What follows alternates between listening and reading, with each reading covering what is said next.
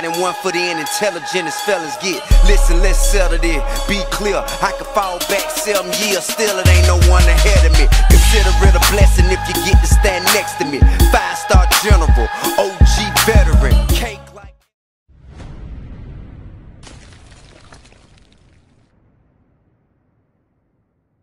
What's up, everybody? Welcome to Bios3 Raw TV. Well, today I'm going to talk about something that happened probably about a year.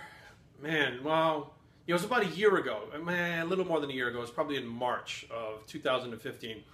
And that is my experience with Transformix Peptides. Now, Transformix Peptides had approached me after they had hired or signed on or whatever Boston Loyd about their products. They had approached me through email and they were looking for basically like YouTubers and people with social media to be able to push their products.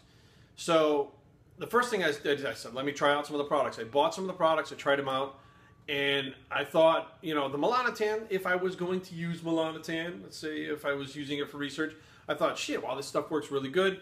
Yeah, your company's legit. let's see what we can do. From that point on, we had agreed to, I think it was like $200 a month worth of peptides for free as well as a certain percentage of when people used my code to um, to purchase peptides. Now, there was a month to month. It was a contract signed. They actually sent me a thing digitally. I signed it digitally and sent it back to them month to month, and everything was good. I was getting my shipments in. I was getting a check. I believe like the biggest check I got honestly was like 700 bucks from them per month, and everything was going fine. And then what happened was it was it was weird because they were kind of cool at first. I don't know if there's two guys or whatever that I was talking to back and forth, but I contacted Boston before I even signed this contract and said, "Hey, you're involved with them. What do you think?" And he kind of laughed and he said, "I'm actually part owner of the company." And I was like, "Well, fuck. If Boston's part owner, and I definitely trust Boston, he's saying that they're legit. I've used the products. This seems like a good thing for all of us all the way around." So I signed the contract. Now here's where the shit gets shady. Okay, and the reason why I'm talking about this now and not before the products are great. The, pro- the, the peptides are great. The fucking liquids are great. Everything they have is fucking great. It's great quality. But it's the people behind it that I have the issue with. Okay? And I have all the fucking emails. If these motherfuckers want to do anything about this, I have all the fucking emails to prove all this shit, as well as Boston to back up my fucking word. So, uh, we'll keep moving on. They decided they were going to ask me to do YouTube videos about their peptides how to use them, what dosages, how to mix them, etc., etc. And I said flat out, it's like, you know that your peptides are for research and it's illegal to actually use these things, right? And they're like, oh, it doesn't matter, it doesn't matter. And I'm like, yeah, it does matter, okay? Because I don't want my shit being fucking flagged or whatever the case may be for illegal activity. I went down to fucking Mexico and filmed a video about steroids in Mexico. And while I was in Mexico, I was doing nothing illegal. I posted that fucking video up. Not only did I get a strike on it, but YouTube told me they shut my channel down for two weeks, blocked me out of it, and told me if I put something like this up again, I would have my channel deleted. And I did nothing illegal down there whatsoever. But now you actually want me to do illegal fucking activities and promote illegal activities on the fucking channel, which basically is going to get my, could possibly get my shit taken away. At the very least, I'm uncomfortable with it. Okay? And they kept pushing me, saying, well, Boston does it, and this person does it. And they kept pushing me for a couple of days. And at that point, I said, you know what? I said, I don't like feeling like I'm being forced into doing something I don't want to do. That was never part of the contract. You fucking telling me what to do with my YouTube channel was never part of the contract. It was never even fucking part of the contract for me to ever talk about your shit on fucking YouTube. But, you know, I'm uncomfortable with this. I think we should part ways. They said, yeah, absolutely. We need to part ways. Cool. I finish up that month, no check in the mail. I contact them, say, hey guys, you know, I didn't get my uh, my final check. I worked for it. The people used my code. I promoted your fucking products. Where's my check? Nothing. No fucking text messages, no emails, no phone calls, no nothing. Nothing. So about a month goes by, and I ask. I just go right to Boston now. I'm like, I, you know, because I'm not having an issue with him, and I'm an issue with these fucking two guys. I tell him this is the situation. They haven't paid me, and fucking boss says, "Let me check into it." He looks into it. He contacts me back, and here's the most fucked up story. This is how these guys do business. Okay, this is how these people are.